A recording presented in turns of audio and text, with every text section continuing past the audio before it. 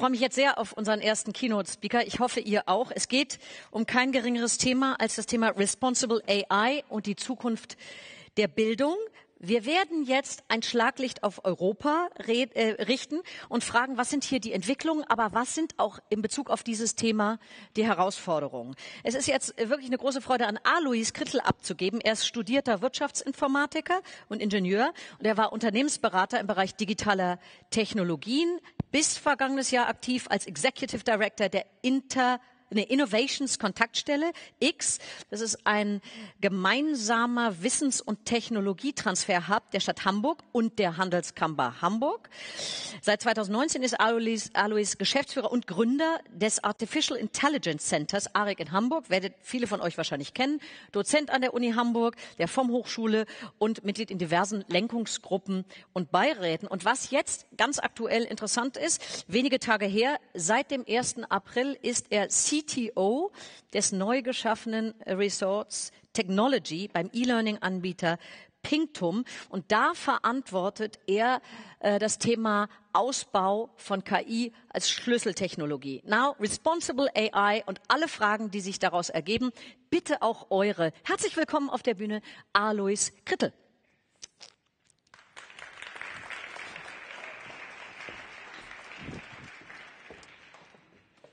Ja, erstmal herzlichen Dank. Ähm, es ist toll, äh, was äh, hier äh, sozusagen das ganze Organisationsteam und die mit diejenigen, die hierfür verantwortlich sind, alles geschaffen haben. Wir haben ganz spannende Talks und auch ganz wichtige Themen, die wir in den nächsten Tagen hier diskutieren. Und ich möchte mich heute in meiner Keynote darauf konzentrieren, sozusagen, was ist eigentlich aus europäischer Perspektive, aus europäischer Sicht ähm, wichtig? Wo kann KI heute schon in dem Education-Bereich helfen? Und wo gibt es vielleicht noch Punkte? Wir haben vorhin gehört, äh, KI-Entwicklung und die dynamische KI-Entwicklung hat auch was mit Ängsten zu tun. Das heißt, wo gibt es auch Möglichkeiten äh, beziehungsweise Stolpersteine der KI-Implementierung?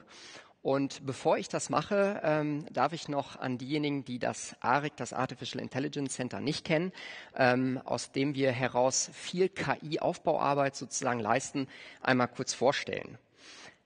Hier habe ich ein schönes Foto mitgebracht von unserem Headquarter in Hamburg, ähm, äh, wo wir sozusagen uns äh, 2019, äh, wo wir die Kräfte gebündelt haben in Wirtschaft, Wissenschaft und Politik, um ein KI-Zentrum, das an der Schnittstelle zwischen Wirtschaft und Wissenschaft sozusagen äh, fungiert und Wissens- und Technologietransfer unterstützt, ähm, entsprechend ein Ramp-up darauf zu machen und äh, so ähnlich wie wir das gerade schon von Britta gesehen haben, ähm, wirklich ein Ökosystem in Gang zu setzen, weil ich der festen Überzeugung bin, dass wir, um kritische Masse in diesem Thema KI, also kritische Masse an Infrastruktur, an Know-how, an Expertinnen sozusagen zusammenzubringen, in Ökosystemen denken müssen.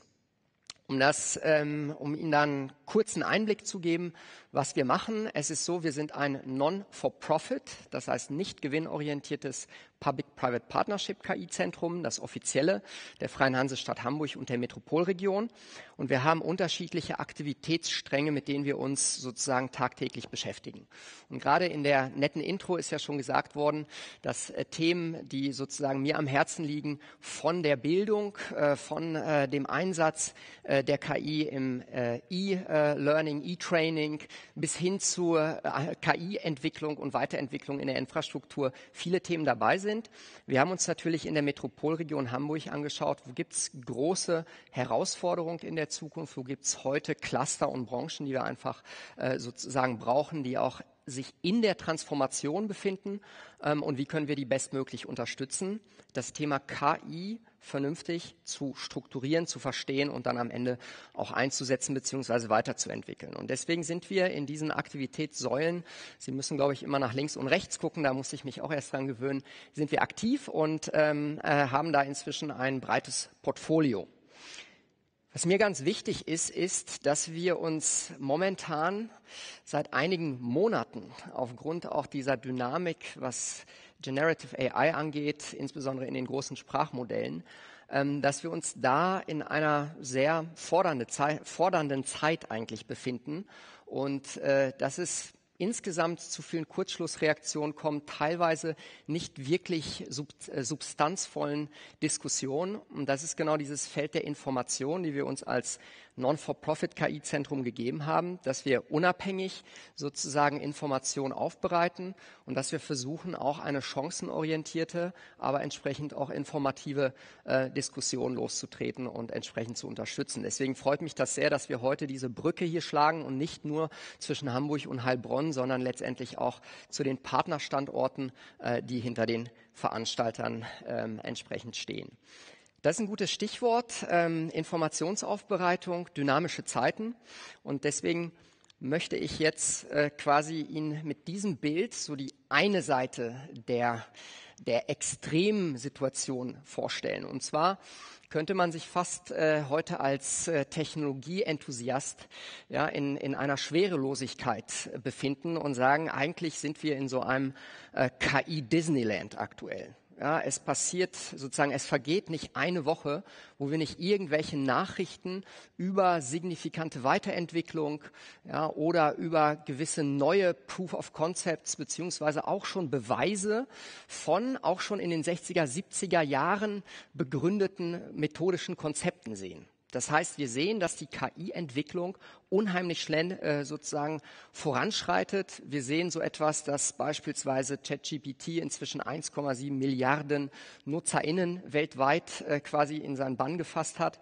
Und das ist sicherlich auf dieser einen Seite einfach unglaublich äh, technologisch gesehen äh, eine, eine ja, fast Mond-Mars-Mission, ähm, die alles scheint äh, zu ermöglichen. Und wenn wir jetzt weiter gucken und die andere Seite uns anschauen, und ich muss sagen, die andere Seite, das sind die meisten eigentlich in der Gesellschaft, ja, die Nicht-Technologen, die gucken sich dann in die, die, die sozusagen schauen sich die Realität an und sehen, okay, in ungefähr der gleichen Zeit, ja, sind wir eigentlich durch große Krisen gegangen, Pandemien, durch Kriege, durch geopolitische Verwerfung. Wir sehen, was Klimawandel und so weiter mit sich bringt. Und vor allem sehen wir, wie fragil eigentlich unsere Ökosysteme sind, insbesondere die, die vom Menschen geschaffen wurden. Und das zeichnet einfach mal so dieses technologische Disneyland auf der einen Seite und dann dieser krasse Kontrast zu der Realität, ja, die uns alle als Gesellschaft international sozusagen dann auch erdet. Und das führt, und das ist nicht nicht immer ganz gut zu eigentlich einer Abkopplung und Spaltung.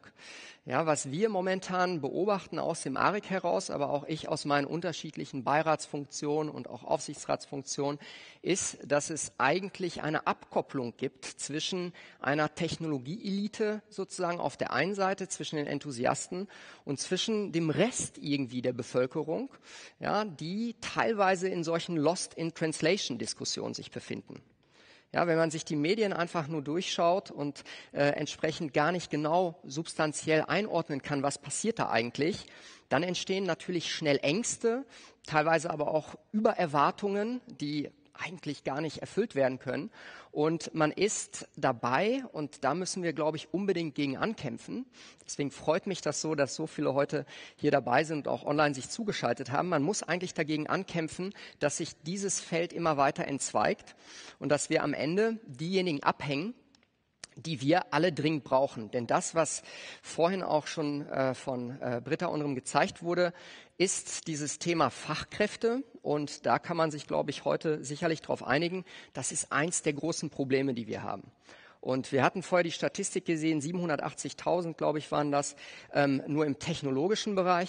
Wenn Sie sich aber jetzt anschauen, wer auch dringend in dieser Krise, ja, in diesen fordernden Zeiten gebraucht wird, dann ist das der Pflegebereich, der Bildungsbereich, dann ist es die Verwaltung, ja, wo wir auch aufgrund der Alterspyramide ähm, in eine wahnsinnige Pensionierungswelle zusteuern. Und natürlich ist es auch der Mittelstand ähm, bis hin zu den Start-ups, die alle eigentlich über dieses gleiche Problem reden. Und da macht es natürlich äh, wenig Sinn, so eine polarisierende Diskussion zu führen und die auch noch zu verstärken, die uns auch noch Ängste macht und teilweise einfach suggeriert, okay, wir werden ja übermorgen gefühlt, ja, in diesem technologischen Disneyland ja gar keine Arbeit mehr haben. Ne, das heißt, auf der einen Seite sagt man, eigentlich ist alles schon gelöst, ja, wenn selbst jetzt KI so einfach mit wenig Einstiegsbarriere in die kompletten Microsoft-Produkte integriert ist, dann habe ich eigentlich keinen Platz mehr in der Gesellschaft und dann sind alle Probleme gelöst. Auf der anderen Seite ist es so, dass äh, KI teilweise aufgrund dieser polarisierten Diskussion komplett wiederum runtergeredet wird. Ja, ich habe hier mal ein Zitat mitgebracht äh, von, äh, aus dem City Department of Education aus New York. Die sagen, ja, ChatGPT ist zwar schön und gut, aber eigentlich lehrt es uns die falschen Skills. Ja, also da wird das sozusagen komplett runtergeredet. Auf der anderen Seite kommt dann der MIT Technology Review im April, also recht frisch, und sagt, wow, ja, das wird die Bildung und unsere Bildungssysteme, Lehr Lernkonzepte nicht zerstören, das wird sie eher retten. Ja, und dazwischen gibt es dann diese Nachricht, oh, 300 Millionen Jobs, ja, und alle werden arbeitslos. So. Und aus diesem ganzen Konglomerat, ja, was ich vorher gezeigt habe in diesen zwei extremen Bildern, ähm, da müssen wir uns irgendwie drin bewegen und versuchen, das weder zu verteufeln noch zu vergöttern, die Technologie, sondern überlegen, wo kann man es denn substanziell sozusagen einsetzen und was sind eigentlich die großen Herausforderungen wie der Fachkräftemangel, wo wir dringend neue Technologien brauchen. Jetzt müssen Sie wieder mal nach links und rechts gucken. Ich habe einfach mal so ein Bild eines Standard-Hörsaals äh, mitgebracht. Auch da habe ich damals Informatik studiert. Ähm, und äh, wenn man sich das anguckt, dann wüsste man gar nicht, aus welcher Zeit ist das eigentlich fotografiert worden. Ja, schöner Frontalunterricht, irgendwie gelangweilte Gesichter links und rechts. Ne, dann wird das nach oben hin gestapelt. Und klar kam dann Pandemie, dann war es wieder remote, aber es gibt noch viel, viel Potenzial nach oben, sozusagen Luft nach oben, ohne dass ich jetzt mich hinstelle und sage, irgendwie universitäre Ausbildung ist veraltet. Das nicht, aber es gibt einfach noch viele Hebel, die man triggern sollte, damit das Ganze vielleicht etwas adäquater zu der Situation ist, wo wir sind. Und um nicht nur die universitäre Seite der Education zu zeigen, habe ich hier so ein typisches Bild, ja, irgendwie schickes Büro.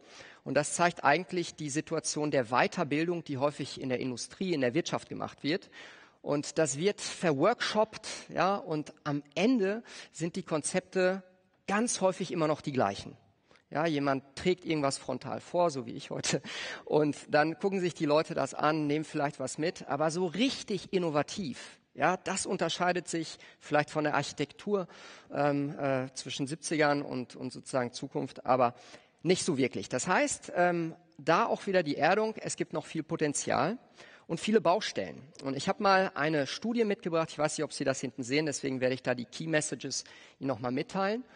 Und die zeigt eigentlich die Gegenüberstellung zwischen Wunsch und Realität, und zwar auf der methodischen Basis. Ja, da gab es genügend Befragungen, statistisch sozusagen große Anzahl an Antworten von Arbeitnehmern. Also ich bin jetzt sozusagen in der Weiterbildung. Und die Frage war, ähm, gibt es eigentlich offene Wünsche oder treffen die Methodiken und die sozusagen Werkzeuge, die heute auch uns EdTech zur Verfügung stellt, Weiterbildungsdienstleister eigentlich den Bedarf. Und um das zusammenzufassen, Angebot und Nachfrage kommen hier nicht wirklich zusammen, weil mehr als ein Drittel der Leute eigentlich sagt, nee, ich wünsche mir deutlich andere Gegebenheiten, ja, wie zum Beispiel Learning on Demand, mobiles Lernen, ähm, viel individualisiertere Lehre und das wird momentan nicht bedient. Und auch das äh, hatte Britta schon angesprochen. Wie sieht es denn überhaupt mit den Trends aus, um jetzt zu zeigen oder darauf hinzuarbeiten in, meiner, äh, in meinem Beitrag? Haben wir denn eigentlich die Möglichkeiten? Und wenn man sich diesen Hype-Cycle, der häufig in der Trendvorschau gezeigt wird, anschaut, dann sieht man, dass methodisch, das heißt die methodischen Trends, eigentlich schon seit einer längeren Zeit sich auf dem sogenannten Plateau der Produktivität befinden. Das heißt, das ist kein Hype mehr, ja, der nach oben schnellt und runter geht. Ich sage nur Stichworte wie Metaverse und so weiter, sondern das sind Technologien, die sich da gerade rechts befinden, äh, die sind erprobt, die sind vom technologischen Reifegrad sicherlich gut einsetzbar. Ja. Wenn man sich jetzt noch weiter anschaut und äh, wirklich Metastudien macht und äh, gerade in dem Bereich auch der Weiterbildung, wo wir als ARIC unterwegs sind, aber wo ich äh, das ganze Thema auch Pinktum-seitig sozusagen nach vorne treibe, ähm, dann findet man eigentlich immer wieder ähnliche Begriffe und das sind Anforderungen, die sich dahinter verstecken, ähm, die Education und Modern Education, also moderne Lehr Lernkonzepte, ähm, eigentlich abbilden sollten. Und das ist genau dieses Thema der Personalisierung, der Adaptivität, das heißt der Anpassung auch an solche Themen wie, was für ein Lerntyp sind Sie eigentlich, wie sollte das Lerntempo funktionieren, aber auch solche Sachen wie Motivation, Engagement, ja, ubiquitous sozusagen, ähm, die Verfügbarkeit und vor allem die Skalierung. Denn die Skalierung, wir sind ja hier sozusagen in Bereichen, äh, wo man Studienplätze noch bekommt und wo man die Möglichkeit hat, sozusagen in den Genuss von ähm, Lehre zu gelangen. So sieht das nicht unbedingt überall auf der Welt aus. Das heißt, dieses Thema der skalierbaren Möglichkeit, äh, entsprechend Education anzubieten, das ist noch längst nicht gelöst. Und natürlich auch dieses Thema sollte das Ganze nicht, ja, auch das ist erforscht hinlänglich, deutlich interaktiver sein. Das sind sozusagen die Wünsche. Und wenn ich jetzt wiederum und da speziell auf die KI blicke, dann kann man sagen, okay, wir müssen Stand heute, das hat man auch in dieser Trendfolie gesehen, nicht mehr das Rad in allen diesen Dimensionen neu erfinden, um das zu gewährleisten, sondern viele der Sachen kann man heute sozusagen out of the box mit entsprechenden sorgsamen Anpassungen und auch der guten Wahl. Deswegen freue ich mich jetzt schon, dass nachher Jonas uns was von Aleph Alpha auch vorstellen wird. Kann man nutzen. Ja, der Werkzeugkasten ist da ist robust und äh, sicherlich vielfältig, um entsprechend diese großen Herausforderungen, die, die da rechts äh, auf Education äh, zukommen, zu meistern. Ich habe ein kleines Beispiel mitgebracht. Ähm, damit möchte ich zwei Facetten eigentlich beleuchten. Die erste ist, vielleicht kennen Sie den, die Entwickler von, von uns, von euch, kennen das von GitHub, das ist der sogenannte Copilot. Und das ist letztendlich ein, ja, ein, ein ähm, trainierter Algorithmus, ein Assistent, der es den Entwicklern ermöglicht, in der eigenen Entwicklungsumgebung entsprechend Vorschläge für äh, Programmcode zu erhalten. Und das wirklich on the fly. Das heißt, ich fange an zu entwickeln, ähm, gebe bestimmte Sachen ein, so wie Sie das aus dem Prompt Engineering auch kennen und aus dem Prompting äh, oder den Anfragen an solche großen Sprachmodelle. Und ich bekomme dann entsprechend Snippets, die ich vorher vielleicht über Stunden und Tage in irgendwelchen Bibliotheken gesucht habe ja, oder in meinen alten Repositories. Die bekomme ich automatisch vorgeschlagen und kann dadurch deutlich schneller sozusagen zum Punkt kommen, Varianten ausprobieren. Und ähm, das äh, ist nicht nur meine Einstellung, sondern inzwischen haben viele solche Art von Co-Piloten genutzt. Ähm, viele, die, die sich am Anfang beispielsweise einer Programmiersprache, äh, dem Erlernen einer Programmiersprache befinden oder auch schon welche, die sehr tief drin sind und sind eigentlich fast alle immer überwältigt überwältigt und sagen, endlich mal ein Assistent, Assistentin, die mir das ermöglicht, was ich ansonsten wirklich, wo ich sehr viel Arbeit verschwendet habe. Das Spannende ist, ähm, das gibt es natürlich nicht nur beim GitHub Copilot, sondern beispielsweise, hatte ich gesehen, hatte Tristan irgendwann die Tage auch äh, gepostet bei Hugging Face. Das heißt, bei vielen der bekannten Plattformen, die man nutzt, um KI-Tools zu entwickeln, ist das inzwischen ja, sagen wir mal, fängt an, ein Standard zu werden. Diese Unterstützung durch ein großes, am Ende hinterliegendes Sprachmodell, was aber einem keine Sprache, sondern entsprechend die Programmiersprache zurückgibt. Auch das Onboarding von Programmierteams, damit haben wir das auch ausprobiert, ähm, funktioniert deutlich effizienter und effektiver, als wenn ich das nicht hätte. Ja, das heißt, einer, ja, nicht der, aber ein Ansatz, um auch jetzt in dem Bereich der Informatik einen Schritt nach vorne zu machen und das etwas adäquater auszugestalten.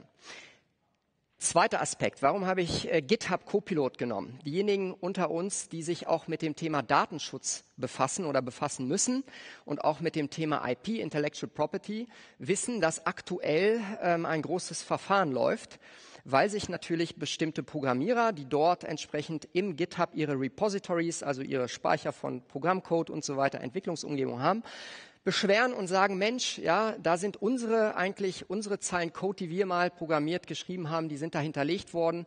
Sie haben es vorhin gelesen, damit wurde das System trainiert und das verletzt eigentlich ähm, die Intellectual Property. Und dieses Thema gibt es nicht nur beim GitHub Copilot, ja, diese große Herausforderung, sondern Sie kennen das auch aus Diffusionsmodellen zum Beispiel wie Dolly und Co.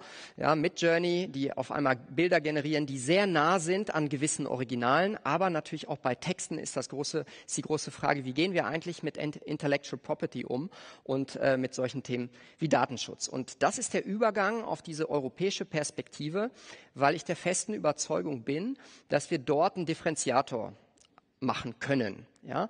Denn ähm, wenn man jetzt nochmal den Sprung, Sie haben vorhin das Büro gesehen, nach Hamburg macht und sich da einmal 360 Grad dreht, dann finden wir viele, viele Branchen, ja, die Logistik, äh, Health, Life Science, Education, Verwaltung, wo man nicht einfach Experimente machen kann mit KI, sondern wo man Standards erwartet. Ja, die gibt's by the way auch in der Softwarepraxis auch schon lange. Ja, das muss die KI nicht erfinden.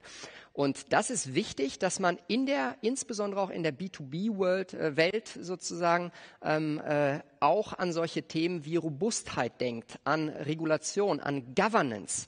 Ja, wer darf eigentlich entscheiden, welche Datenquellen für das Lernen von solchen großen, beispielsweise äh, General Purpose AIs und großen Sprachmodellen ähm, genutzt werden, welche nicht. Ja? Wer ist dafür verantwortlich, wie die attributiert werden, wie das sogenannte Alignment funktioniert? Das sind alles Fragen, die meiner Meinung nach ähm, man sich stellen muss, wenn man wirklich will, dass die KI auch in die anspruchsvollen Bereiche, und ich finde alle Bereiche anspruchsvoll, die auch nah am Menschen sind, ähm, wirklich dann implementiert wird und wir nicht auch über diese Kurzschlussaktivitäten dann äh, in den Medien, wie beispielsweise aus Italien hören, ähm, die natürlich auch gewisses, ähm, ja, die eine gewisse Sensibilität dann erzeugen.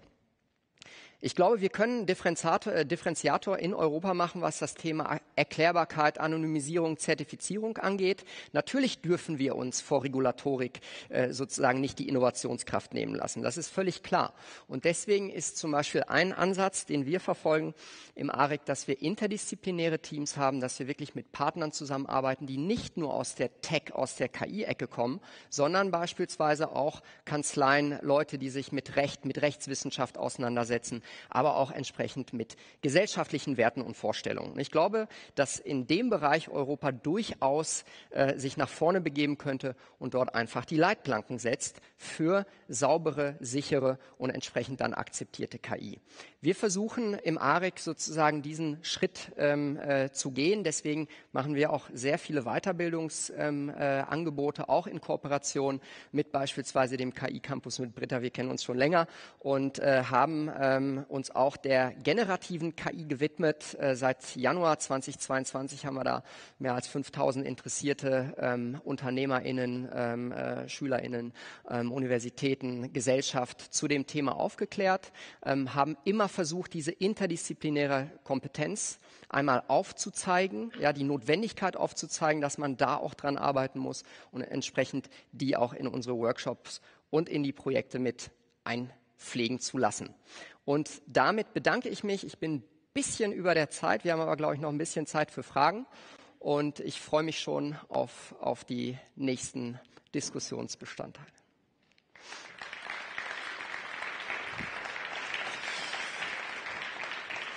Lieber Alois, äh, wir sind ein bisschen äh, einerseits über der Zeit, aber andererseits vor der Zeit. Ich entschuldige mich, dass ich den Slot ein bisschen früher gestartet habe als äh, offiziell annonciert. Eure Fragen sind mehr als willkommen. Macht euch bemerkbar. Wundervoll. Wenn du so nett wärst, äh, ich nehme auch jederzeit digitale Fragen mit rein, wenn sie denn kommen. Wir versuchen hier noch ein paar technisch noch ein paar Leute an Bord zu bringen im, äh, im Netz. Also sei so lieb, wenn du dich ganz kurz vorstellen würdest, wer du bist und deine Frage. Ähm, ich bin Ute. Ich habe einen Newsletter angefangen, was ein bisschen das aufgreift zum Thema KI, weil ich möchte, dass wir sachlich über Themen diskutieren. Also es geht gar nicht um das Kritiklose oder sowas, sondern ich merke einfach, dass viele Leute interessiert sind. Und in dem Zusammenhang wunderbarer Teasertext natürlich KI Disneyland.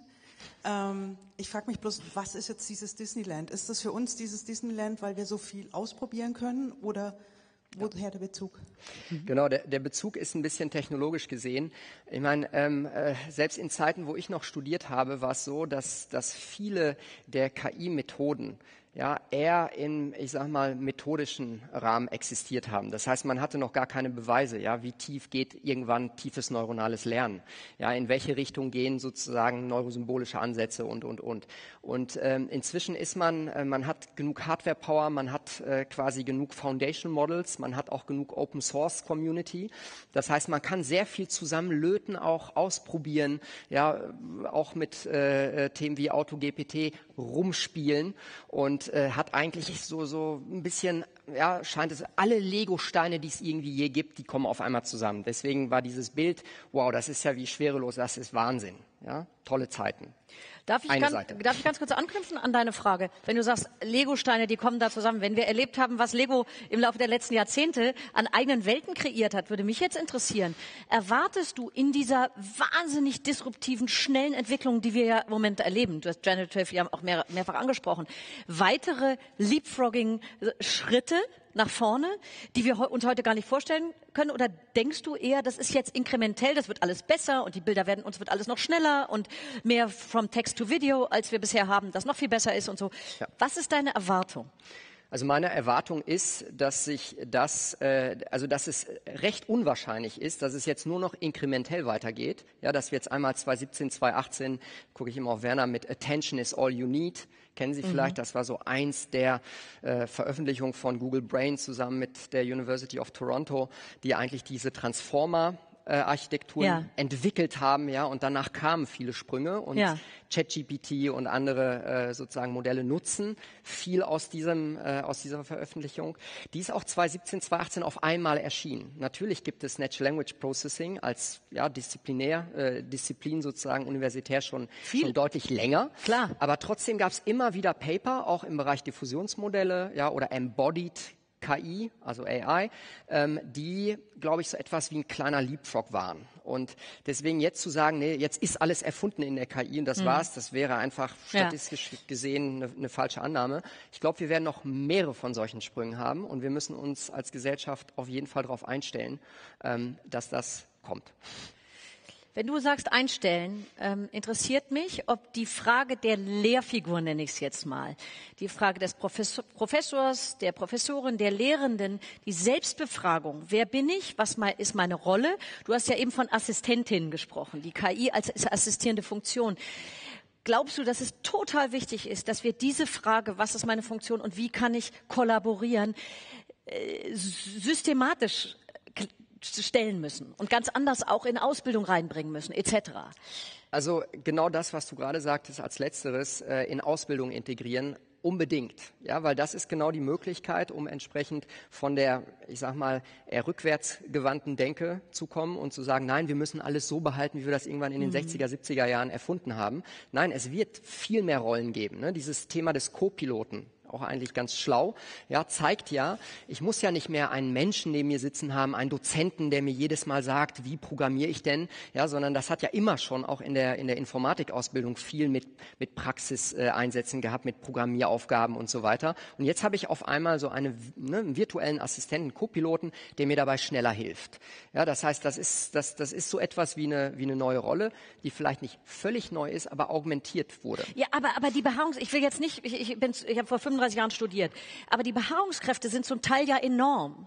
Wie kriegen wir das hin, dass wir wirklich dieses, ich komme an Britta zurück, an dieses Ökosystem, das ist ja nicht mehr ex cathedra und ich weiß alles. Nee, ich weiß vielleicht ganz wenig und die KI, ja, da wird überprüft, was die Daten liefern und die Biases kriegen wir noch raus und so weiter. Wie kriegen wir das hin?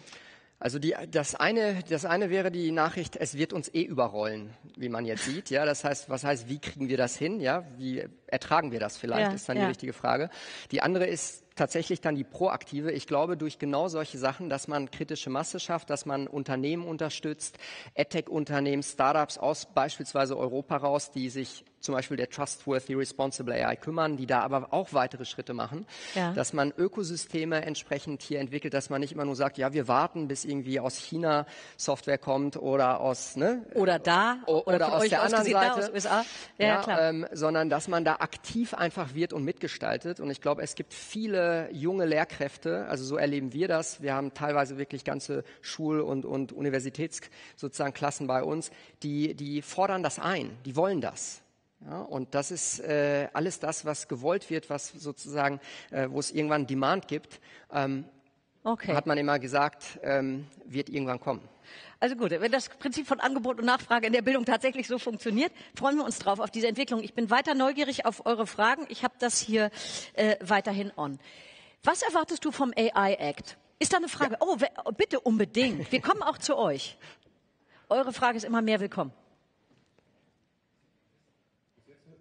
Wunderbar. Ach so, Wenn- damit ich doch, Wer genau, bist du? wunderbar. Ganz kurz, Ja, ja. Sebastian Happler von der Fernuniversität in Hagen und bei uns gibt es natürlich auch immer die Frage durch ChatGPT, wie sieht jetzt in Zukunft ähm, die Prüfung aus? Ne? Also ja. Hausarbeiten zum Beispiel.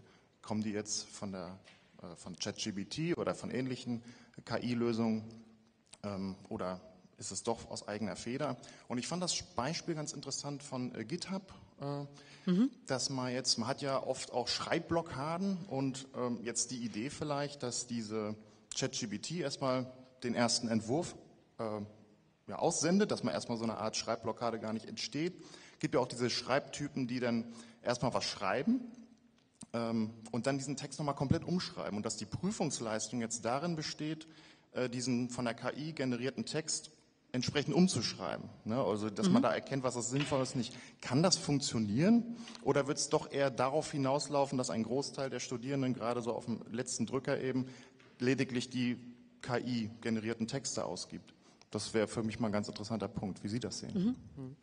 Also ich sehe das so, dass das auch ein bisschen die, die Frage ist, wie, wie lernen wir damit umzugehen? Ja, dieses Problem der Lernseite gibt es ja im Programmieren genauso. Deswegen war das natürlich auch ein voller Erfolg, äh, was, was äh, Copilot sozusagen GitHub da geschafft hat.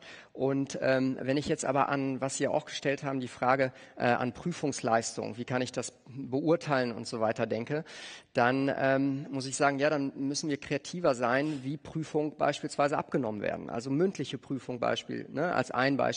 Mhm. Oder entsprechend, dass man halt nicht sagt, ich bewerte nur den Output, sondern wie ist man zu der Lösung gekommen? Ja, die kritische Auseinandersetzung damit. Ja, nicht, ist das jetzt echt oder nicht echt, sondern wie gehe ich methodisch damit um? Das heißt, es wird eine Umstellung sozusagen benötigen. Aber ich glaube, vieles davon können wir uns heute noch gar nicht vorstellen. Also als das Internet damals vorgeschlagen war, haben wir zwar auch immer so ein bisschen überlegt, was könnte das bedeuten und dann hat es in teilweise in Bereichen wirklich zu Disruption geführt, die wieder ein Neues haben entstehen lassen. Und man konnte es nicht wirklich predictive irgendwie voraussagen alles. Ne? Aber ich glaube einfach, irgendwas zu verbieten ne? oder zu sagen, das ist böse oder das ist, ne? da, damit hat man alles erledigt oder oh, ne? wir, wir, werden nicht mehr lesen und schreiben müssen oder so, das ist überalt und das wäre dann, das dann so ein bisschen äh, äh, zu viel in, in ne? einem polarisierten Raum in eine oder in die andere Ecke. Eher ausprobieren, nutzen, lernen, damit umzugehen, lernen, damit diese Anforderung, die wir haben, ja, die mhm. die meisten ja haben, einfach besser zu machen. Glaubst du, dass dann das Thema Plagiat auch völlig neu, also Plagiatsvorwürfe im ursprünglichen Sinn machen ja dann so keinen Sinn mehr, weil das eins zu eins übernehmen, es geht ja dann um ganz andere Dinge. Dann muss das ja alles aufs Tapet. Ja, also Plagiat ist ja auch wiederum nah an Intellectual Property und an ja. diesen Thematiken und ist ja nur eine Ausprägung, ich sag mal, von, von, von einem Produkt, ja, von einem Ergebnis. Ähm, es gibt natürlich auch ganz viele andere, die dann in die Bewertung reinkommen und vielleicht nimmt dieses Thema Plagiat irgendwann, ja, darüber diskutiert man gerade auch im Bereich der neuen Gesetzgebung, neuen sozusagen äh, Regulatorik im Bereich Patentwesen. Mhm. Vielleicht muss das auch angepasst und mhm. neu gedacht werden. Irre. Es ist irre, äh, äh, in was von einer Zeit wir uns befinden. Weil eure Fragen sind wirklich äh, mehr als willkommen, herzlich gerne. Ähm, auch weiter im digitalen Raum. Bitte, es läuft ja wie geschmiert hier in Baden-Württemberg. Also, sensationell.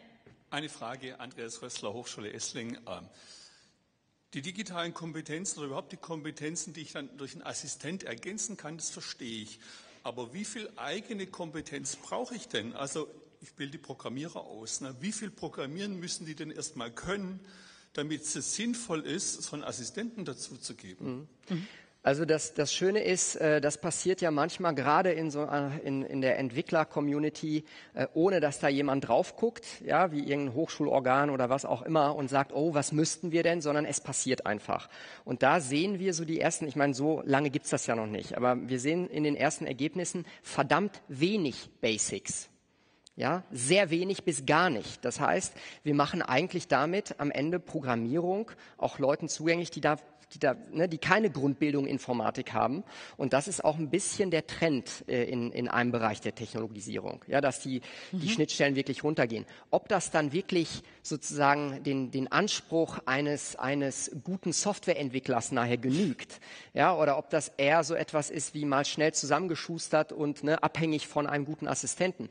Das wird sich herausstellen. Aber ich finde erstmal überhaupt die Möglichkeit, dass jemand, der eigentlich wenig damit zu tun hat, ja, die, dieses Handwerkzeug sozusagen so mitgeliefert bekommt, ist erstmal spannend.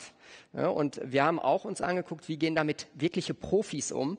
Und die sagen nicht, oh nee, ja, ich schreibe weiterhin alles mit meiner Schreibmaschine, ja. weil das das Beste ist, ja. sondern die lieben diese Tools. Ja, von der Lehre her und von der institutionellen Denke her gibt es natürlich viele Fragezeichen. Ja, aber achso, wollen Sie noch eine Frage daran richten? Frage. Ich muss doch dann typischerweise wissen, wann dieses Ding halluziniert. Ne? Das heißt also, kriege ich denn dann nachher, wenn ich die Kompetenz gar nicht mehr habe, weil ich mir das alles schreiben lasse, dann kriege ich doch gar nicht mehr mit, wenn das Ding einen Fehler macht. Und noch schlimmer, ich kriege den Fehler auch nicht mehr raus. Das ist richtig. Also das Thema Halluzination ist ja auch in gewissen Transformer-Modellen äh, immer noch eine große Herausforderung. Wir werden ja gleich noch eine schöne Keynote von äh, Jonas hören, äh, der sich natürlich auch mit Aleph Alpha rangemacht hat, um dieses Thema Halluzination sozusagen äh, entsprechende Antwort darauf zu machen. Nicht alle Systeme, die Transformer-basiert sind, ähm, müssen halluzinieren, wenn sie am Ende sozusagen äh, optimiert werden in bestimmte Richtung. Und es gibt natürlich auch viel Forschung in dem Bereich, wie kann ich trotzdem Nachvollziehbarkeit und Zwischenstufen und Kontrollen und so weiter einbauen. Aber das ist mhm. ein sehr dynamisches Feld, was Sie ja sicherlich auch hochschulseitig kennen und äh, wo es viele gute Talente braucht, äh, die sich damit auseinandersetzen. Wie passt aber das, was du sagst, zusammen mit diesem Wunsch nach dem Moratorium? Also wir wissen ja auch, Herr Musk hat sich das äh, dafür eingesetzt und unterschrieben. Da weiß man ja jetzt nicht, ob er seine eigene Suppe kochen will in der Zwischenzeit, dieses äh, halbe Jahr im Blick. Ähm, wie, wie, wie passt das zusammen? Also diese Traute, dieses ja. Vertrauen, das du der Entwicklung ja. aussprichst, versus, ey Leute, wir wissen überhaupt nicht mehr, was da abgeht. Ja. Lass mal Pause machen. Ja.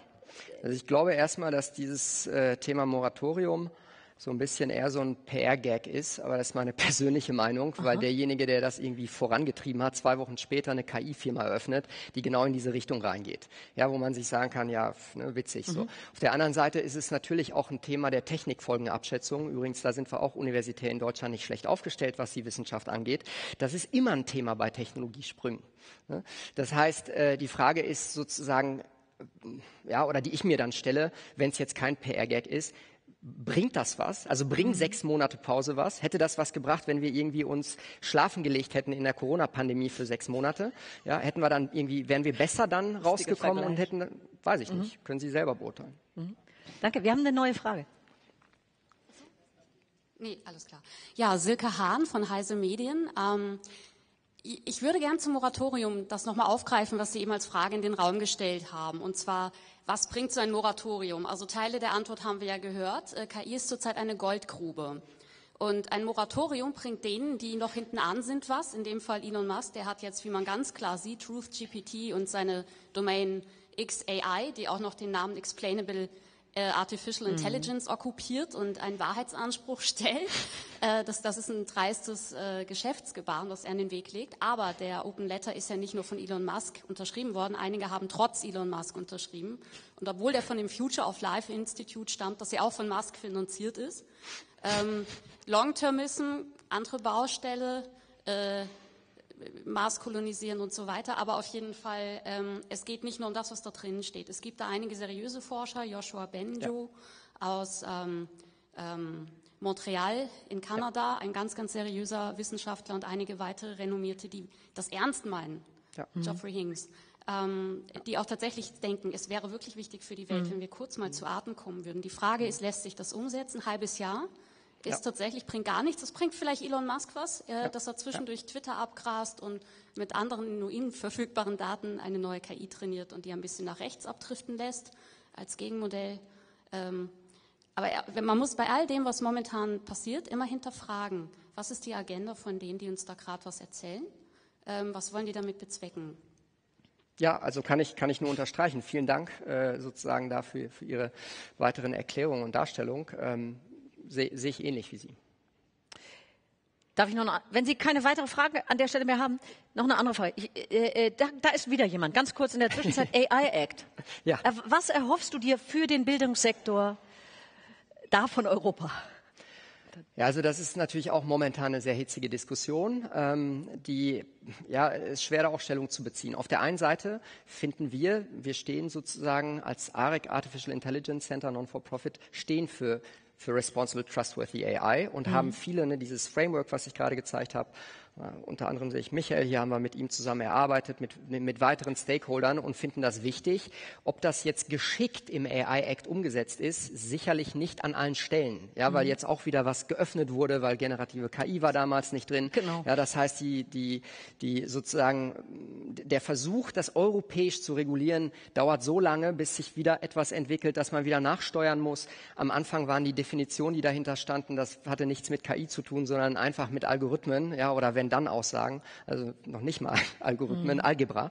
Ähm, das ist dann nachgebessert worden. Aber ne, also es gibt viele Sachen, die man kritisieren kann. Aber auf der anderen Seite, wir, wir, wir entscheiden uns schon ähm, als Gesellschaft, gewisse Werte zu vertreten und zu sagen, das sind die Leitplanken. Ja, und wir fahren nicht irgendwie, weil wir können mit 7000 Stundenkilometern über Autobahnen oder was auch immer.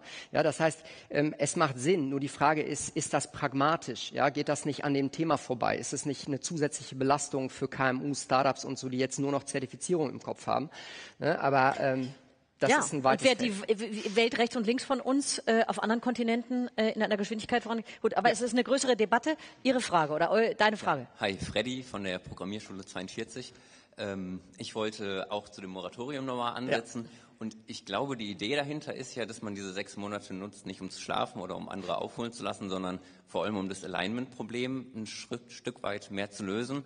Also, dass man es schafft, diese Leitplanken und ein bisschen die Ethik in eine KI reinzubekommen, damit sie uns eben nicht abhaut oder nicht, ja, schlechter, also die Welt schlechter macht, als sie ist, sondern dass sie, dass sie, ja. sie dafür nutzen, dass sie, dass die Welt besser wird. Darf ich, darf ich äh, als, da möchten Sie noch was oder nur noch was? Nee, nee, doch noch kurz dazu und dann hast du das Schlusswort. Bitte gerne. Ja, Michael Koch von der Lufthansa. Ähm, ich bin auch sehr, sehr oft im Austausch mit Arik. Ich bin im Vorstand. Wir haben das ARIC auch gegründet im Prinzip aus, aus diesen Gründen heraus, also auch zum Moratorium jetzt in dem Sinne. Ähm, wir brauchen in Deutschland oder generell diese Diskussion, diesen Diskurs. Ja. Und ähm, ob wir jetzt sechs Monate warten oder nicht, also in sechs Monaten haben wir eine andere Realität schon wieder. Die ja. Geschwindigkeit, die Innovationsgeschwindigkeit ist das, das Thema. Mhm. Und genau der KI-Campus, das ARIC und, und, diese Diskussion, die wir hier haben, die hilft dabei. Mhm. Wir müssen öffentlich darüber sprechen. Mhm wir müssen äh, erreichen, dass, dass in der Öffentlichkeit KI ein Begriff ist und verstanden wird, was es kann, was es nicht kann. Da helfen die Regularien auch in dem Sinne nicht. Mhm. Und die Geschwindigkeit ist da und es wird noch schneller werden. Ja. Vielen Dank. Äh, Nochmal dein Resonanzraum für die letzten beiden Wortbeiträge. Also äh, es ist natürlich völlig richtig, dass es da auch gute Gedanken hinter gibt, wenn man dieses Thema auch PR und, und Mass da rausnimmt. Ähm, ich, ich, bin mir nicht sicher, ob genau dieses Thema, ja, jetzt mal sechs Monate oder zwölf Monate und, und äh, was soll da passieren? Dass es an sich ein Moratorium gibt, ja, was nicht irgendwie versucht, etwas aufzuhalten und zu sagen, wir schnaufen durch, um dann was zu. Ich glaube, das ist unrealistisch, ja, weil alles bewegt sich weiter. Wir müssen das parallel mitdenken. Wir müssen, das hatte ich schon mal gesagt, wir müssen Ökosysteme, Unternehmen, Unternehmer eigentlich unterstützen, die da von sich aus den Unterschied machen, die da nicht drauf warten. Ja, ich glaube auch, ich erwähne jetzt zu, zu häufig Jonas, aber Jonas hat auch nicht darauf gewartet, bis irgendwie jemand ein Moratorium ankündigt, sondern gesagt, nee, ich mach's halt anders. Ja? Und wir haben in Hamburg und überall sozusagen auch in Deutschland vielleicht jetzt noch zu wenige Firmen, die den Unterschied machen, aber wir haben sie. Und äh, deswegen geht es genau darum, was Michael sagt, wir müssen die Diskussion eröffnen, wir müssen proaktiv sein. Ja, gründet Unternehmen, wählt die gute Seite sozusagen für euch. Das ist ja auch ein Wertekonstrukt, den, das man als Mensch ja jeden Tag irgendwie ne, ab, abklopfen muss. Und werdet aktiv. Das ist das Thema. Also, vielen Dank für diese Aktivierungsnummer äh, am Ende äh, deiner Keynote. Vielen tausend Dank für den tollen Dialog mit dir. Also, in Jonas Ohren müsste es jetzt massiv geklingelt haben. Wir machen jetzt eine 19-minütige Umbaupause, um dann diesmal pünktlich zu starten. Ich zeichne dafür verantwortlich. Ähm, äh, erstmal mit seiner Keynote und haben danach ein Panel, was mit Sicherheit super spannend wird, äh, das von Britta moderiert wird. Wenn euch jetzt irgendwas von dem mitteilungswürdig erscheint, was wir hier bisher diskutieren oder was ihr kritisch diskutiert, seid so lieb, packt es über den Hashtag UF Festival mit zwei F oder KI Campus äh, in die sozialen Medien und lasst uns die Echokammern vergrößern und aus den Elfenbeintürmen rauskommen, genau mit Hilfe äh, solcher Kommunikation. Vielen herzlichen Dank, lieber Alois. Äh, wir gehen jetzt beide von der Bühne und wir sehen uns in 18 Minuten gleich wieder. Vielen Dank.